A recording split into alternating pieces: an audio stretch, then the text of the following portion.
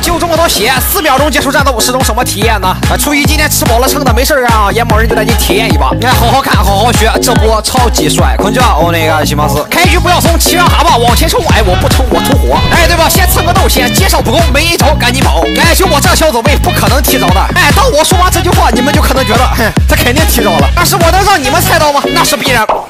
那不是什么东西，抓一下就过来了。好了，又到了大家最不喜欢的挨打环节啊！说实话，这不叫挨打，这叫什么？卖血，是不是？发音很标准，大家也是都听过这个词儿，非常的专业。那我们现在要做什么呢？等他失误啊，对不对？还是那句话，哪有小孩天天哭，哪有连招不失误？啊，下来我就是骑上蛤蟆一口火，你敢提身吗？你敢提身，游戏就结束了。好了，又到了大最喜欢的五秒钟结束战斗环节，提走捆住，黄泉火山反向一脚直接开大，再见，来不及，握手。